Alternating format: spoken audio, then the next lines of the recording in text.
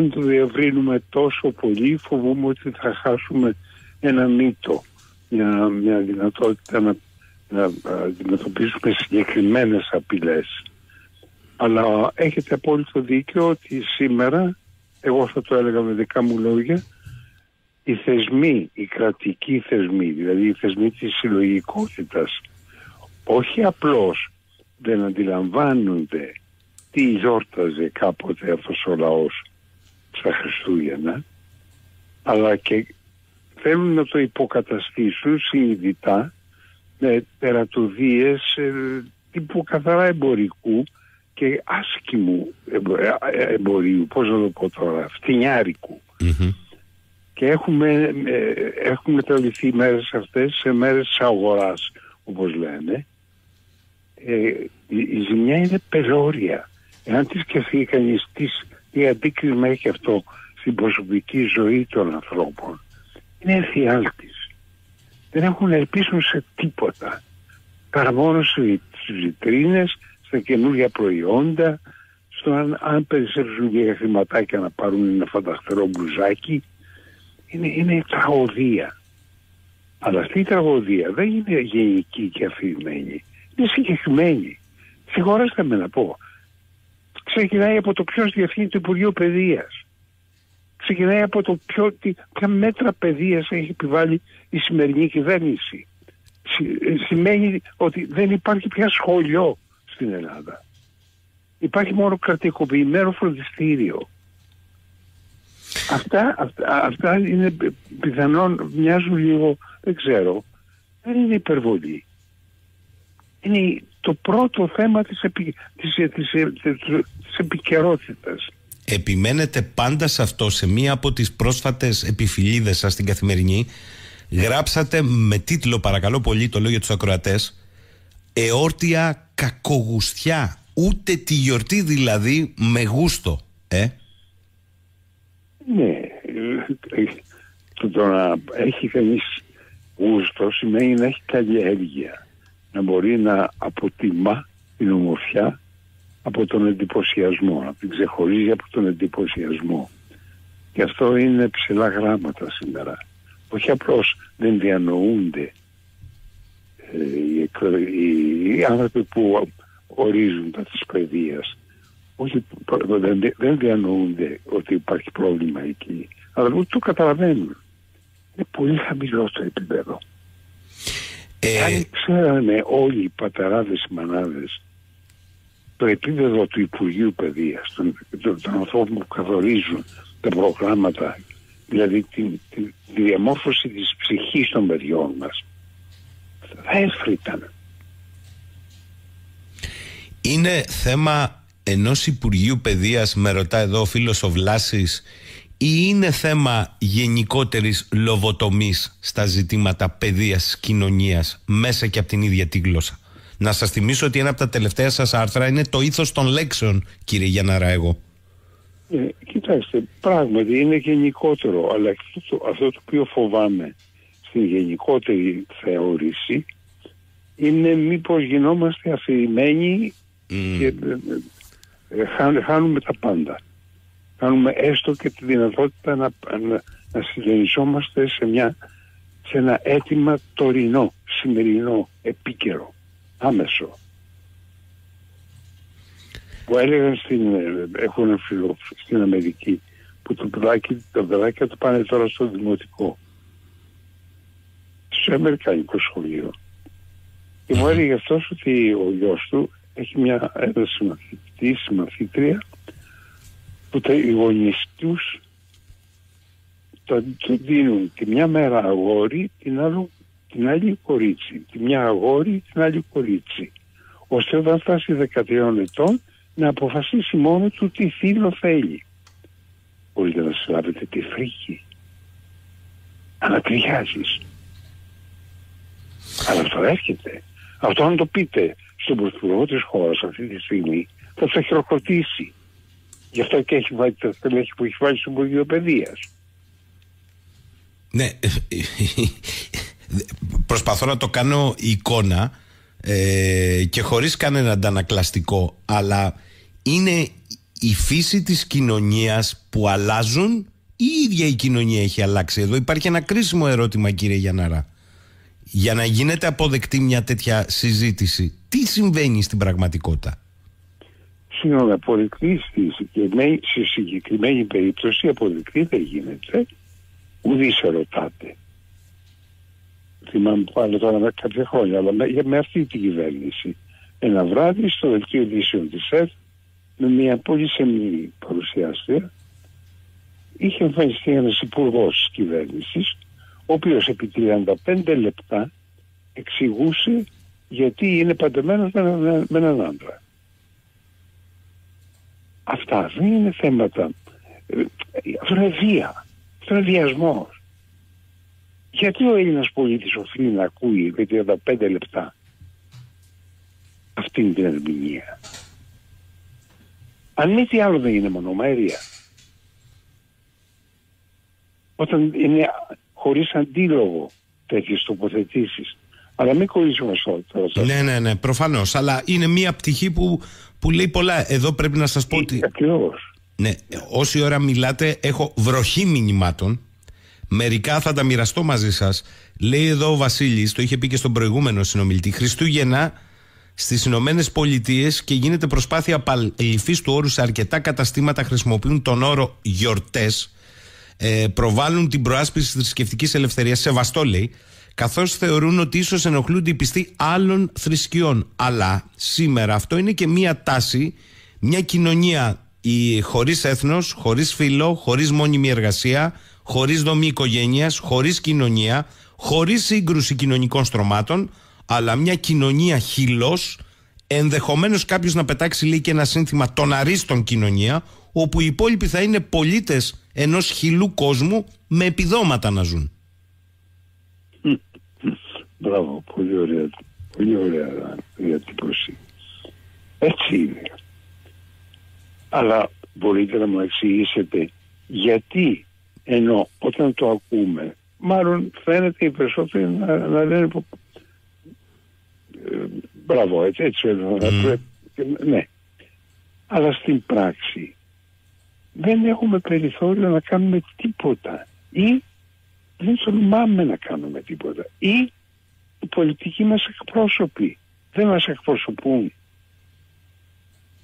Δεν εκπροσωπούν τίποτα.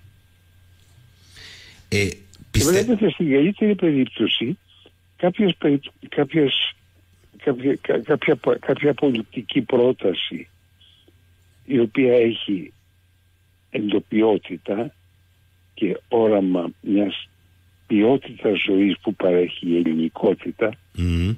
Συνοδεύεται από διαφημίσεις διαφόρων πραγμάτων έτσι ώστε να εξουδετερώνεται. Προσέξτε σας παρακαλώ τις τελευταίες δεκαετίες υπάρχει πάντοτε ένα υποτίθεται ορθόδοξο χριστιανικό κόμμα κατά κάποιο τρόπο ή ένα είναι πάντα της πλάκας. Είναι τα πρόσωπα τα οποία ηγούνται, ας μην λέμε τώρα ονόματα και πράγματα. Το θυμόμαστε όλοι.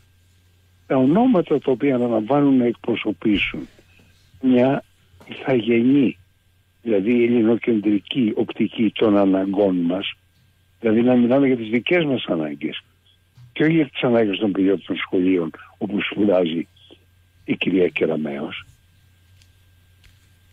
Αυτό το πράγμα συνοδεύεται ή μεθοδεύεται ώστε να συνιστά τελικά καλαμπούρι. Να γελάμε. Άρα είναι... Ναι, ναι, ναι, ναι, παρακαλώ, παρακαλώ, συγγνώμη εγώ.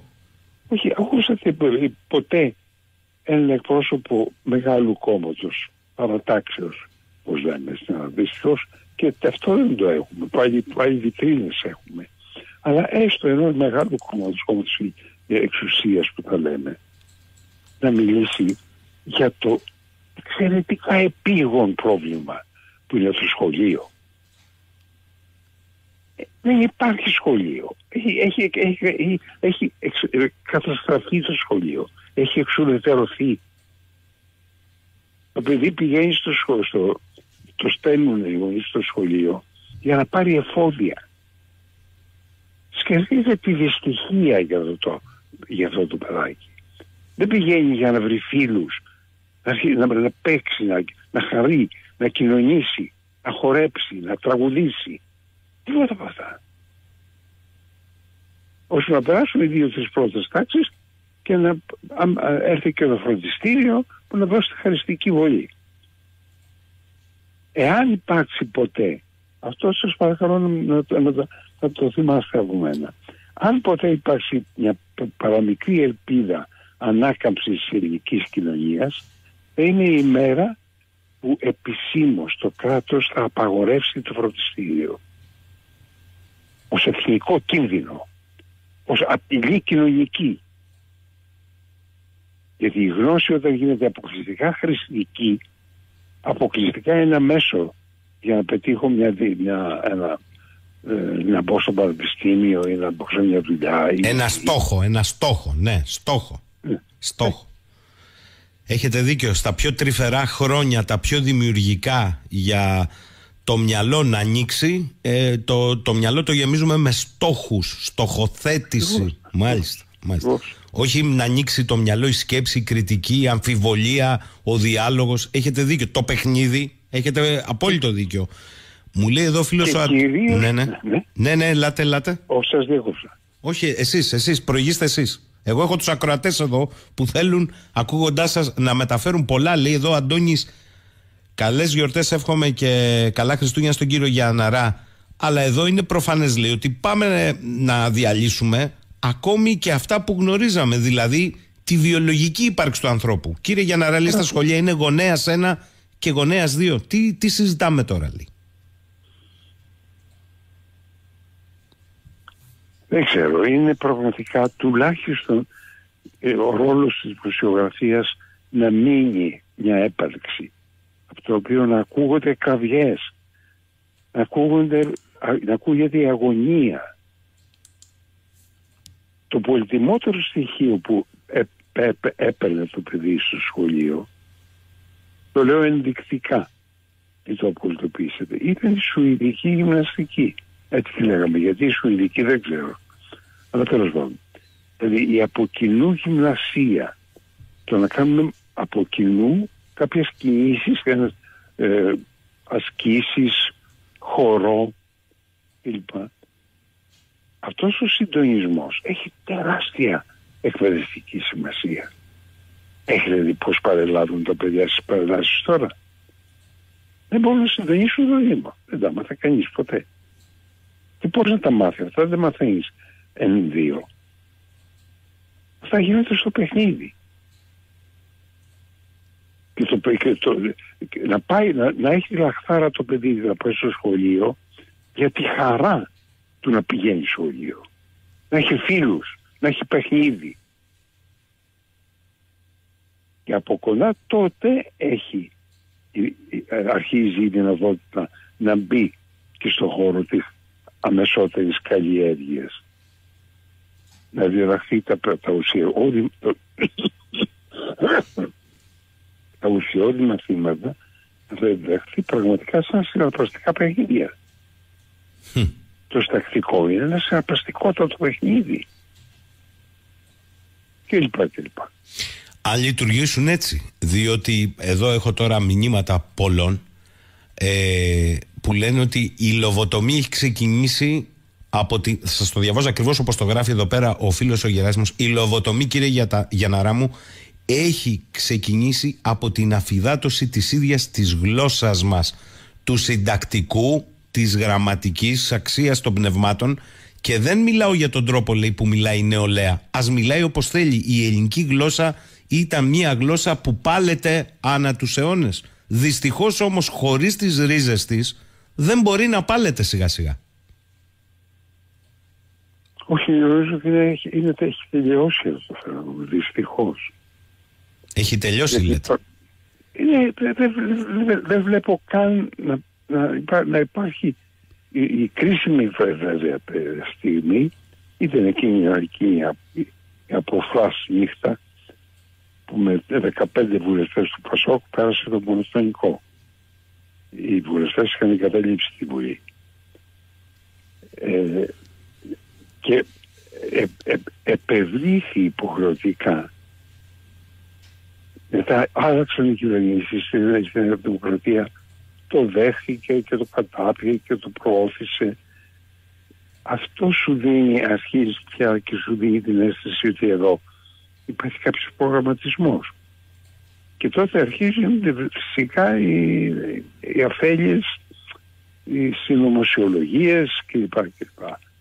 Αλλά υπάρχει έδαφος που αρχίζουν οι συνωμοσιολογίες. Είναι δυνατόν κα, κα, κανέ, τόσοι υπουργοί παιδείας πέρασαν από το μονοχρονικό και μετά. Κανένας δεν, δεν τόλμησε να αμφισβητήσει, να θέσει θέμα, να προβληματίσει και να προβληματιστεί. Τι σημαίνει; Θυμάμαι ε, όταν πρώτο άρχισα να πηγαίνω σε ένα μικρό νησί που ε, είχε μια καταγωγή η γυναίκα μου και πήγαινα το πρωί στη, στο μόλο εκεί που ερχόντουσαν οι βάρκες και έπαιρνα να κάνω ψαράκι. Και ανάμεσα στους ψαράδες ήταν ένας, κάποια ηλικίας που μιλούσε κάτι ελληνικά. Είχα μείνει εκστατικός. Μία, δύο, τρεις, κάτι εκφράσει, κάτι. Του λέω Βασταδί. Τι σχολείο πήγες; Στο, στο ελληνικό παιδί αυτό το μαγικό σχολείο των σχολοαρχείων ή ελληνικών το οποίο μάθανε τους Έλληνες γλώσσα τους μάθανε ε, έκφραση και ένας άνθρωπος χωρίς γλώσσα είναι άνθρωπος χωρίς σκέψη αυτό είναι. Αυτό είναι. Ε, ε, βλέπω ας πούμε μια χρήσιμη υποτίθεται εφαρμογή για την οποία γίνεται πολλή κουβέντα κύριε Γιαναρά μου, το Twitter και τα αρτικόλεξα και ο περιορισμός των μηνυμάτων δεν περιορίζει τελικά και τον τρόπο σκέψης. Αυτό δεν συμβαίνει, αυτό συμβαίνει. Ε, σας, παραδί, σας παραδίδω εντός εισαγωγικών σε πάρα πολλά μηνύματα κροατών. Λέει ο Νικόλας ε, σε κάποιο του άρθρο παλιότερο ο κύριος Γιαναράς νομίζω ότι είχε πει ότι όποιος στις μέρες μας είναι αισιόδοξος θα πρέπει να θεωρείται ψυχικά ασθενής, γιατί η αισιοδοξία οφείλει να εδράζεται πάνω σε αντικειμενικά αποδεκτά στοιχεία στην πραγματικότητα και όχι σε κάποιο υποκειμενικό φαντασιακό. Το γράφω λέει σε ελεύθερη απόδοση όπως το θυμάμαι, αλλά κάπως έτσι το είχε διατυπώσει. Εξακολουθεί να διατελεί με την ίδια άποψη; Ε, νομίζω, φαντάζομαι. Ναι. φαντάζομαι με την έννοια ότι ναι, δεν, δεν μπορώ να σκεφτώ κάτι άλλο, κάποιο άλλο ενδεχόμενο. Γιατί επαναλαμβάνω, εάν δείτε την πολιτική του Υπουργείου Παιδείας, δεν αλλάζει με τίποτα. Ούτε με τα κόμματα που έρχονται και παραέρχονται, ούτε με τους, με τους ανθρώπους που έρχονται και παρέρχονται, τίποτα.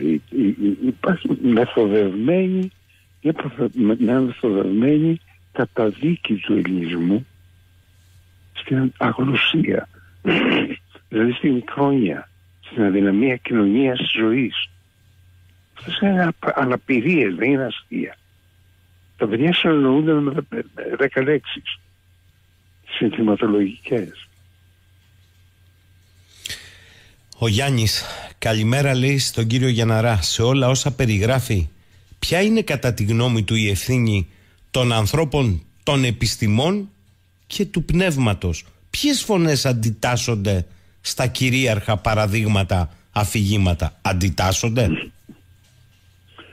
Κοιτάξτε, νομίζω ότι δεν αντιτάσσονται. Δεν τις βλέπω τουλάχιστον, δεν ακούγεται. Αλλά δεν μπορώ να ε, ενθαρρύνω και αυτή τη στάση η οποία φεύγει από το πρόβλημα διαπιστώνοντας απλώς ότι κανένας δεν κινείται ότι οι δήμονες και αυτοί οι οποίοι θα έπρεπε να έχουν την πρωτοβουλία σε αυτά τα θέματα δεν μιλούν, δεν, δεν, δεν στρατεύονται, δεν, δεν, δεν καταθέτουν μαρτυρία ή τροποδείχτη.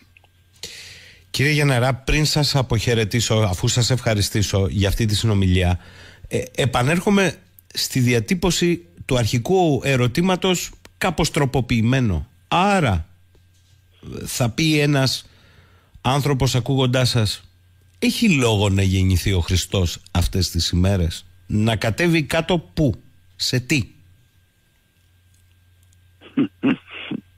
ε, κοιτάξτε πάμε σε, σε, άλλο, σε άλλο επίπεδο προβληματικής ε, υπάρχουν ε, θα μιλήσω, θα πω και εγώ μια εικόνα, ένα παράδειγμα. Εάν διαβάσει κανείς η συναιμακιά σε, σε αυτά τα περιοδικά ποικίλης ή σε εφημερίδες κλπ. Θα αποκτήσει την πεποίθηση ότι δεν υπάρχει περιθώριο αυτή η νεολαία σήμερα, οι καινούριες γενιές που έρχονται. Δεν υπάρχει ενδεχό περιθώριο και ενδεχόμενο να ζήσουν ποτέ έναν αληθινό έρωτα. Όλα τα στοιχεία της πραγματικότητας που μας δίδονται οδηγούν στο συμπέρασμα ότι ετοιμάζεται μια κοινωνία, έχει σχηματιστεί ήδη μια κοινωνία ανέραστων ανθρώπων. Οι άνθρωποι μπορεί να ζητάνε την ειδονή, αλλά δεν ξέρουν τι είναι ο έρωτας. Λοιπόν, αυτοί τέ, τέτοιες ζημιές έχουν τέτοια δυναμική και ε, τέτοια σημασία, τέτοια αποτελεσματικότητα που δεν ξέρεις τι να πεις, τι να μιλήσεις. Μπορείς να, να πεις την κυρία Κεραμέως ότι το σχολείο σήμερα βγάζει ανέραστα παιδιά; Παιδιά τα οποία δεν υποψιάζονται τι θα πει να ερωτηθούν, να παραδώσουν.